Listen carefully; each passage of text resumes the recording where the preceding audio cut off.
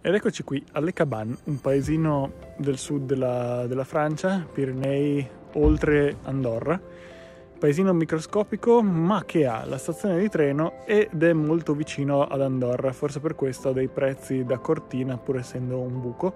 Il suo vantaggio è che è vicino alle piste di sci di fondo nel Pla de Beige, qua su, che è a 1700 metri circa. Sono riuscito solo adesso ad andare a camminare, sono le 8 di sera siamo partiti prestissimo stamattina andando all'Ikea.